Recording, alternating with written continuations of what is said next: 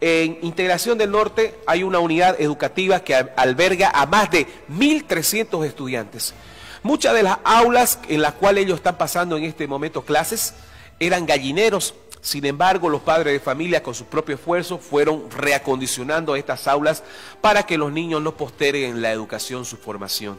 Sin embargo, la alcaldía hasta el momento han hecho caso omiso a las solicitudes de refacción de estas aulas y ante la necesidad de poder tener más aulas para que, bueno, hayan más cupos porque el tema de la migración hacia el municipio de Guarne es bastante grande. Ellos han tenido que construir aulas, pero la han tenido que construir con sus propios recursos. La alcaldía, ¿qué le dice, señor vecino? Escuche bien. La alcaldía le dice, es que no hay plata, no hay presupuesto, no podemos refaccionar, no podemos hacerle otra aula, porque no hay plata, no hay plata. Escuchemos y veamos.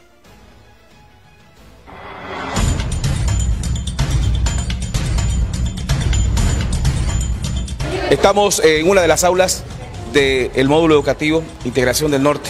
Estas son las condiciones en las cuales pasan los estudiantes. Estas son las condiciones, usted lo puede ver en el lugar y no es solo esta aula, son todas estas aulas que esto era un gallinero antes, que los padres lo hemos adecuado para que pasen clases nuestros hijos. A estas alturas tenemos que llegar, señor periodista. La verdad, es muy triste lo que sufren nuestros hijos.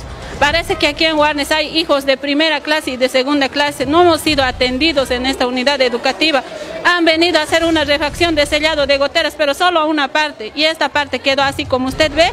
No da ni para subir a este techo no hay caso de subir, es una cáscara de huevo. Y no solo los techos, las paredes también. Y creo que nuestras autoridades se equivocan al decir que en Integración del Norte nos defendemos con la educación y con esta clase de educación de infraestructura nos defendemos. Yo me pregunto para las autoridades, esto, esto es aula para ellos, para pasar, que nuestros hijos pasen clases adecuadamente. Y el tema de la energía en tiempo de lluvia es un apagón total porque hace corte, porque los cables están también deficientes. Mire también cómo se están rajando las paredes. Imagínense que puede caer el curso, las aulas, en qué problemas nos podemos ver. Es un peligro que los niños estén pasando clases de este modo, ¿no?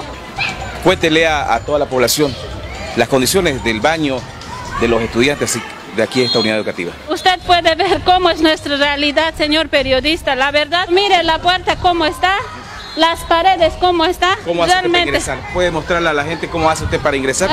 ¿Cómo hace? Muéstrele. ¿Ya?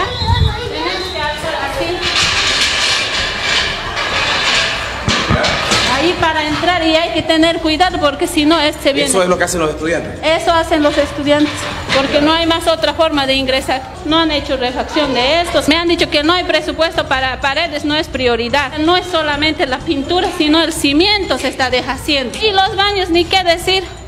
Ellos piensan que va a aguantar un inodoro para cuánto tiempo. Mire cómo está roto la taza.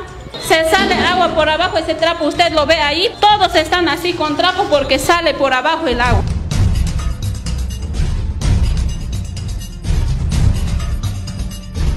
Esta unidad educativa pertenece al Distrito 2 del municipio de Guarnes.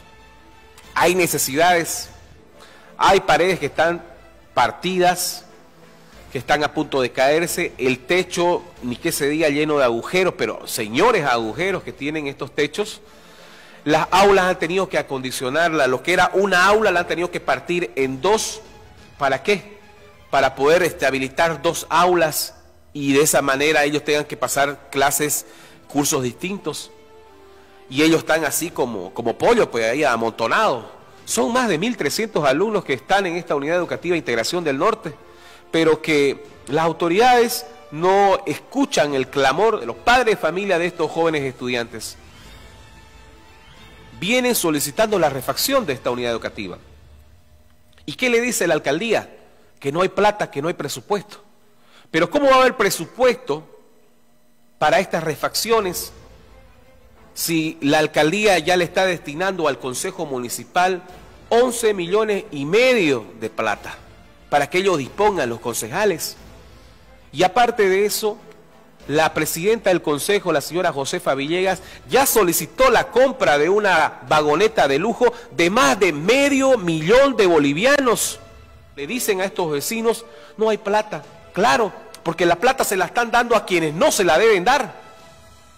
Porque esa plata, esos 11 millones que se la están dando al Consejo para su libre albedrío, se debería destinar justamente para esta situación, para refaccionar estas unidades educativas que se están cayendo a pedazos. Estamos mostrando dos aulas de las cuatro últimas que han construido los padres de familia. Cuando este es un deber de la alcaldía, es una obligación de la alcaldía construir nuevos ambientes, pero ambientes que sean adecuados para que los niños y jóvenes estudiantes puedan formarse y que tengan las condiciones necesarias para poder pasar clase. ¿Cuántas veces se podría refaccionar esta unidad educativa con la vagoneta de lujo que se quiere comprar la concejal Josefa Villegas con la plata del pueblo, con la plata de usted, amable vecino?